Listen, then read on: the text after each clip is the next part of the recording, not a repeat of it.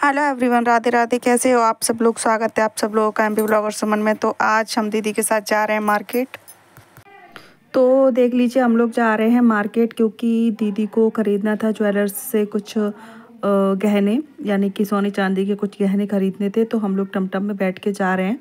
आपस में बातें भी करते चल रहे हैं और ये हमारी घर की टमटम है क्योंकि हमारे जो गाँव है, उससे करीबन तीन किलो या फिर चार किलोमीटर दूर मार्केट भरता है। हम लोग की मार्केट वहीं होती है। कुछ भी सामान की ज़रूरत पड़ती है तो हमको वहाँ पे लेने के लिए जाना पड़ता है। आप लोगों ठीक है? और जो पास रखा है। हाँ।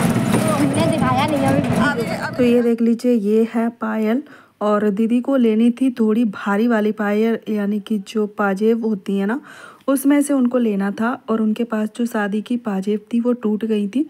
उनकी कुछ अलग डिज़ाइन की पाजेब थी जिसके कारण वो जगह जगह से खुल गई थी। तो दीदी ने कहा कि उन पायल को देकर हम कुछ वज़नदार सी पायल ले लेंगे। तो बहुत चांदी महँगी हो गई है। पहले तो 200 की एक तोला आती थी, फिर 400 हो गई, फिर 500 अब साढ़े छः सौ हो गई है। तो मैंने भी अपने लिए पायल लेकर आई हूँ। चांदी की बहुत वज़नदार, अच्छी नई डिज़ाइन में। तो वो भी मैं आप लोगों को दिखाऊँगी कि कैसी डिज़ाइन मैंने ख़रीदी है। क्योंकि अगर किसी की शादी में जाते हैं तो कम से कम सोने की चीज़ इतनी ज़्यादा ना हो तो चल जाता है। मगर चांदी की चीज़ तो होनी चाहिए। तो दीदी ने कम से कम बहुत ज़्यादा पायलें देखी।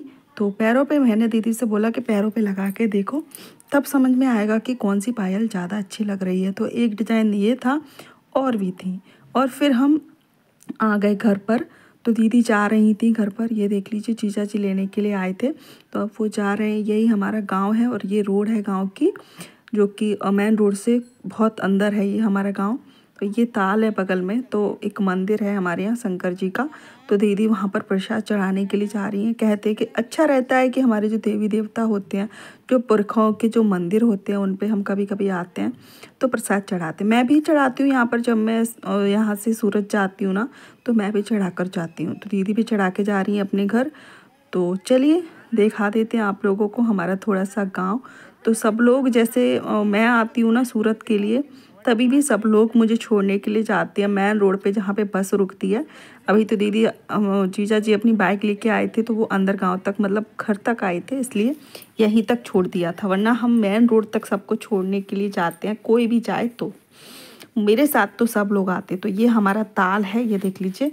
तो दीदी जा रही हैं तो दीदी को करते हैं बाय बाय, और फिर चलते हैं घर, और मॉर्निंग जो रूटीन है, बस वही आप लोगों के साथ शेयर किया है। अगर आप लोगों को मेरा वीडियो थोड़ा सा भी अच्छा लगता है तो चैनल को सब्सक्राइब और वीडियो को लाइक ज़रूर कर देना। तो इस तरीके से मुझे घूंघट करके रहना पड़ता है, ये देख लीजिए मैं हूँ। तो सब लोग यहाँ पे बातें कर रहे हैं और फिर दीदी चाह रही हैं। तो दीदी को करते हैं बाय और फिर हम चलते हैं अपने घर।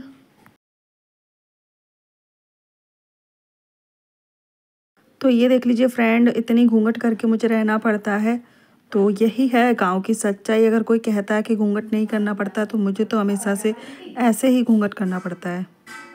जब कभी भी मैं गाँव से मतलब घर से बाहर निकलती हूँ तो इसी तरीके से मुझे घूंघट करके रहना पड़ता है। ये देख लीजिए, ये है हमारे घर। थोड़ा आगे चल के जो आपको टमटमियाँ रखी हुई दिख रही हो, वो हमारा घर है। और ये बाकी के लोगों का घर है। और ये मेरे हस्बैंड चल रहे हैं। और तो चलिए, चलते हैं घर और फिर मिलते हैं आप लोगों से। अभी घर का बहुत सारा काम बाकी है, क्योंकि दीदी जा रही थी तो हमने उनके लिए जल्दी जल्दी खाना बना दिया था। और उसके बाद कपड़े सूखने के लिए डाले, और अब मैं आई हूँ कपड़े उठाने के लिए। तो सारे कपड़े बहुत सारे हो जाते हैं यहाँ पर तो सबको मैं उठाती हूँ। सर्दी यहाँ पर कम होने के नाम ही नहीं ले रही हैं। कुछ भी और मगर सर्दी कम नहीं हो रही है। इतनी ज़्यादा भयंकर सर्दी होती है, बहुत ज़्यादा। तो चलिए मैं क्या करती हूँ, सारे कपड़ों को उठा लेती हूँ, लेके चलती हूँ घर पे, फिर इनको करूँगी घरी। घरी करके बस लग रख दूँगी अलमारी में। कपड़े भी बहुत मुश्किल से सूख रहे हैं इस समय। क्योंकि अभी दो दिन से तो ऐसी बारिश बारिश जैसा मौसम हो रहा है। बिल्कुल भी धूप निकलती नहीं है। पूरा दिन ऐसे ही निकल जाता है बिना धूप का। सच बता रही हूँ, अपने लिए तो इस समय एक हाउसवाइफ होती है, कहते हैं कि उसको अपने लिए समय नहीं रहता। सही बात है ये। मुझे थोड़ा सा भी समय नहीं मिलता कि मैं अच्छे से वीडियो एडिट करके आप लोगों के साथ शेयर कर सकूँ।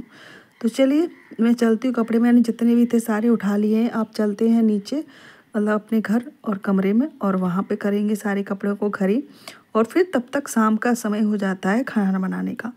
सच बता रही हूँ, मुझे मेरे लिए दो मिनट का समय नहीं मिल पाता है, क्योंकि सुबह से सारा काम करते करते थक जाते हैं। तो ज़्यादा नहीं तो आधे एक घंटा तो नींद लग ही जाती है। आधे घंटा तो मुझे आराम चाहिए ही होता है।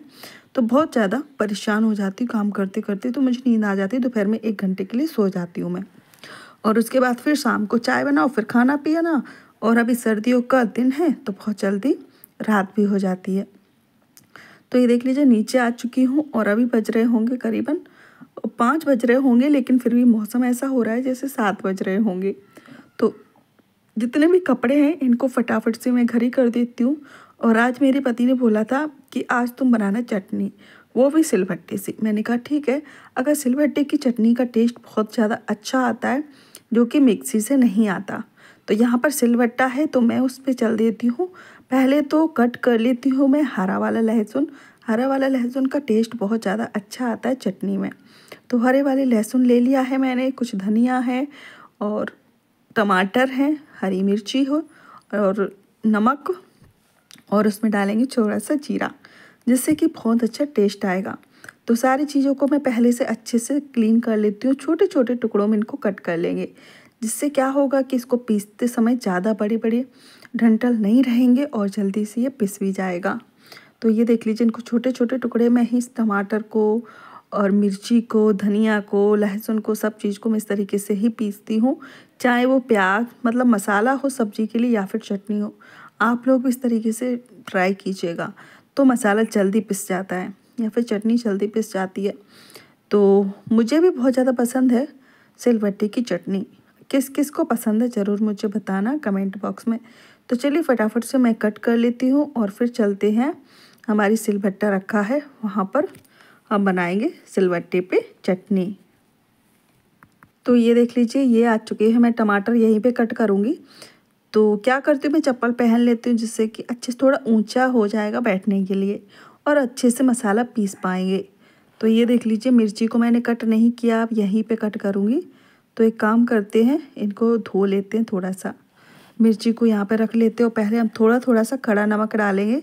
खड़ा नमक से क्या होता है कि चटनी जल्दी पिस जाती है, मसाला जल्दी पिस जाता है। ठीक है? तो पहले हम मिर्ची को पीसेंगे थोड़ा सा नमक डाल के। थोड़ा सा नमक हम बाद में डालेंगे टमाटर पीसते समय, क्योंकि टमाटरों को पीसने में बहुत ज़्यादा मेहनत भी लगती है बहुत ज़्यादा समय भी लगता है। तो आप लोग बताना, आप लोगों को गाँव में क्या अच्छा लगता है? मुझे तो गाँव में रहना बहुत ज़्यादा अच्छा लगता है, बहुत ही ज़्यादा अच्छा लगता है। और मैं यहीं रहूँगी और यही मेरा घर है और यही मेरा कमरा है। तो मैं कमरे को भी थोड़ा सा डेकोरेट करने की सोच रही थी, लेकिन जब टाइम मिलेगा तब, क्योंकि अभी तो घर के कामों में ही सारा समय निकल जाता है। तो मैं घर को, कमरा को भी अच्छे से डेकोरेट कर दूँगी अपने हिसाब से, क्योंकि अगर हमको यहीं रहना है तो अपने हिसाब से रहो, है ना? तो चलिए फटाफट से मैं चटनी पीस लेती हूँ पहले, और फिर चटनी को छौंकेंगे जीरे के साथ। थोड़ा सा तेल डालेंगे कढ़ाई में, उसमें थोड़ा जीरा और फिर हम इस चटनी को छौंकेंगे। तो इस चटनी का डबल टेस्ट हो जाता है। अगर आप लोग भी चटनी बनाते हो तो उसको फ्राई करके ज़रूर देखना। उसका स्वाद डबल हो जाता है। तो ये देख लीजिए, ये है धनिया और जो हमारा लहसुन था, हरा वाला वो। तो अब हम इसको भी पीसेंगे अच्छे से। तो और उसके बाद हम पीसेंगे लास्ट में टमाटर। तो जो नमक बचा है, वो हम बाद में डालेंगे, जिससे कि टमाटर को भी पीसने में दिक्कत ना आए और जल्दी पीस जाए। तो आप लोग बताइएगा, आप लोगों को मेरा वीडियो अच्छा लगता है कि नहीं? अगर अच्छा लगता है तो एक लाइक ज़रूर कर दिया करो। तो हम टमाटर को भी छोटे छोटे स्लाइस में कट कर लेते जिससे कि ये जल्दी पिस जाए। तो चलिए, टमाटर और चटनी पीसने के बाद बनाती हूँ रोटी और सुबह की जो दाल रखी हुई थी, वो भी अभी रखी हुई है। तो उसका भी मुझे अभी बनाने हैं मंगोड़े तो सुबह की जो दाल बच गई थी मंगोड़ी की, वो मैंने रख दी थी फ्रिज में। क्योंकि अगर हम इसको बाहर रखते तो ये पानी पानी छोड़ जाती। इसमें नमक जब हम डाल देते हैं ना तो दाल पानी पानी छोड़ देती और बहुत ज़्यादा पतली हो जाती। तो बिल्कुल भी अच्छी मंगोड़ी इसमें नहीं बनते। तो आप भी हमेशा इसको अगर इस तरीके से दाल बच जाए तो उसको फ्रिज में रखें, जिससे कि दाल बिल्कुल भी पानी नहीं छोड़ेगी। तो ये देख लीजिए, मंगोड़ों को हम सेक लेते और मेरे हस्बैंड बैठे हुए बाहर खाना खाने के लिए। उनको भूख लग रही थी, उन्होंने ही चटनी पिसवाई थी अपने मन से।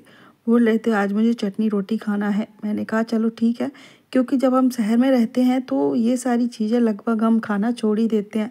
तो इसका टेस्ट जब मुँह को याद आता है तो हमें फिर और इस समय हम गाँव में भी थे तो गाँव की चीज़ें गाँव में खाने और बनाने का जो टेस्ट है ना तो बहुत अच्छा है, लगता है। तो ये देख लीजिए, चलिए हम फटाफट से सेक लेते हैं मंगोड़े और फिर खाना लेके चलते हैं पतिदेव के सामने।